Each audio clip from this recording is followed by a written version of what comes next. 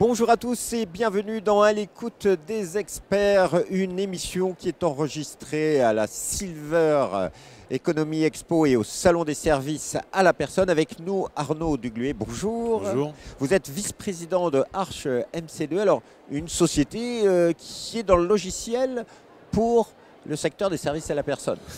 Oui, nous sommes une société spécialisée dans l'informatisation des services d'aide et de soins à domicile, mais aussi l'informatisation de l'action sociale dans les départements, dans les villes, dans les CCAS. Alors pourquoi Arch MC2 Parce que nous sommes la fusion de deux sociétés, Médicis euh, qui équipait les structures d'aide et de soins à domicile et euh, Citizen qui équipait elle aussi les structures d'aide et de soins à domicile mais aussi les départements et les CCAS. Et on nous avons fusionné aujourd'hui pour être un groupe de 530 collaborateurs, on va dire acteurs majeurs du secteur, et, MC2, voilà, Médicis Citizen euh, au carré. Aujourd'hui, il y a une nécessité, il y a eu un long travail pour aider les structures dans leur digitalisation, informatisation, pour coordonner, euh, c'est ça le, les opérations? oui, aider, c'est pas forcément aider, c'est accompagner un mouvement. Quoi.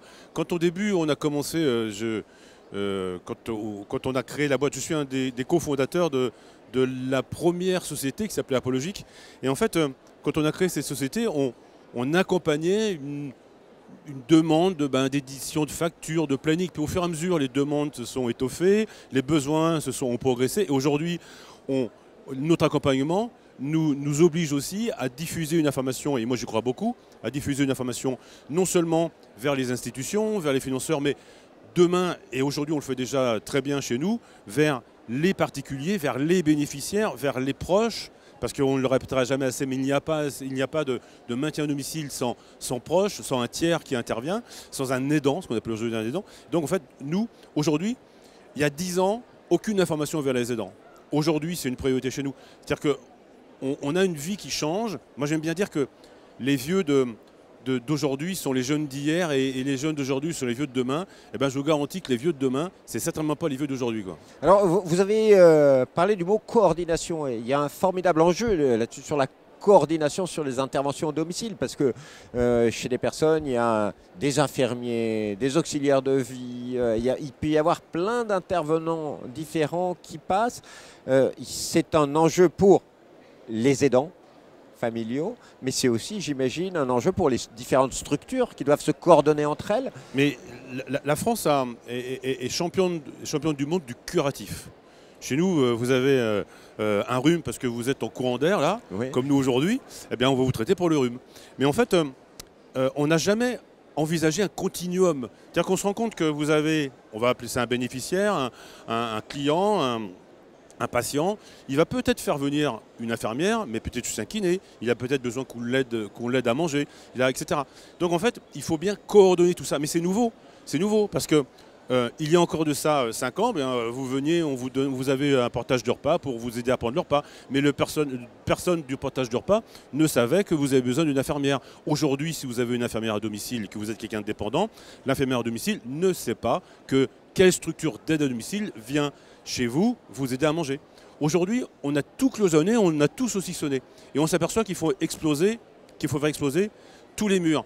Et on s'aperçoit que, vive la France, que le SIAD, eh bien, il est financé par des ARS avec un financement différent du SAD qui est financé par le conseil départemental.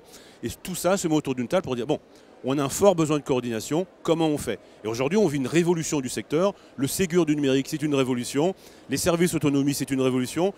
On va vivre une époque captivante et, comme, comme on ne l'a jamais vu. Mais, quelle est, la, solution que vous préconisez? Parce que vous connaissez bien le, secteur, parce que euh, ça peut être une solution logicielle, certes, ça peut être aussi, euh, aussi de l'humain.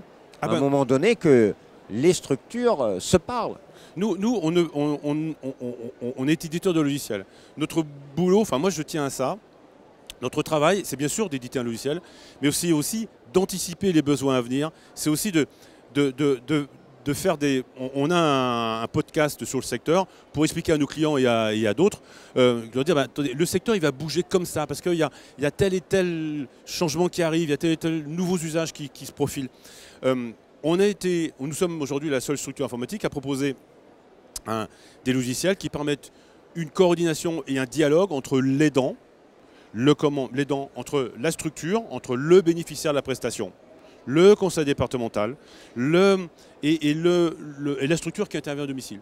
on croit beaucoup, si vous avez des enfants scolarisés, vous avez euh, les bulletins de notes sur vos smartphones, mais si vous avez un grand-parent pris en charge, vous n'avez rien. Vous n'avez pas le planning, vous n'avez pas, etc. Tout ça, ça va changer. Tout ça, moi j'aime bien dire que les gens seront de moins en moins usagers, mais de plus en plus clients. Et, c'est essentiel, ça, pour le mieux vieillir euh, dans les années à venir? C'est quoi un vieux? Euh, on, parle de quoi? Aujourd'hui, vous avez 1 300 000, 1 400 000 Français dépendants. OK. Euh, vous avez 600, 700, 800 000 Français à domicile, maintenus à domicile. Si on parle de GIR, on est, on est classé en GIR. Les GIR, à partir de 60 ans, donc 6, 5, 4, 3, 2, 1. OK. Si vous êtes en GIR 6, 5, 4, est-ce que vous êtes dépendant au sens dépendant.